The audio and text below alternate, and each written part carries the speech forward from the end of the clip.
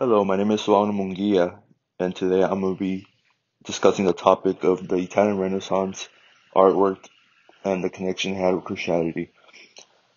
The Italian Renaissance was a time of period where there was a change in education, science, art, religion, and literature.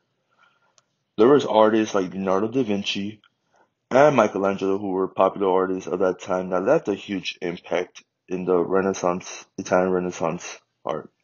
These Italian artists incorporated religion, which Christianity was the dominant religion during the Renaissance in Italy. We will look into a specific artwork from the Italian Renaissance called The Last Supper by Leonardo da Vinci, which was created from 1492 to 1498. The Last Supper depicts Jesus Christ, who is in the middle of the table with apostles, who are the men next to him, and it comes from the Gospel of John 13:21. The story behind the painting is that Jesus Christ had all his apostles next to him and wanted to tell them that one of them would betray him. And the artwork also shows great use of variety of colors from the clothing of Jesus Christ and the apostles, and also there's detail and line work in the details from the faces and clothing of each man, and also the objects that are surrounding them. The Last Supper is an important painting that is one of the most recognizable in the Western world. Leonardo wanted to depict a story from the Bible and show the ideal depiction of the Last Supper to the audience and whoever's watching the painting.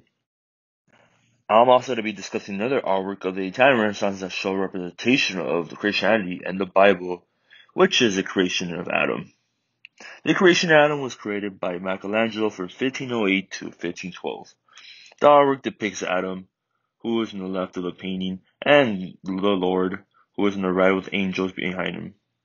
The story of the creation of Adam comes from the Bible in the book of Genesis, which the Lord created Adam from the dust of the earth and breathed into his nostrils the breath of life.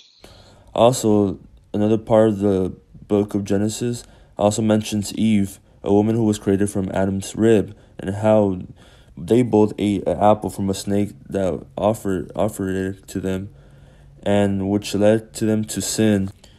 The artwork of creation Adam also shows great use of details and line work in the bodies of these human figures, from facial expressions of these human figures to the muscles this artwork also great uses great use of colors and the objects from the mountains with a green and blue appearance of where Adam is, to the clothing seen behind the angels and the Lord. The artwork of the creation of Adam shows importance in showing of how the artwork would have looked like from the perspective of the artist and how he imagined the creation of Adam.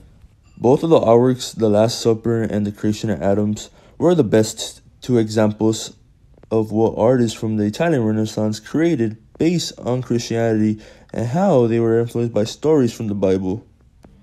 The Catholic Church was a, was ahead of everything during the Italian Renaissance and had a huge impact on how people live in their daily lives based on religious beliefs and how they had faith with the Lord and the church.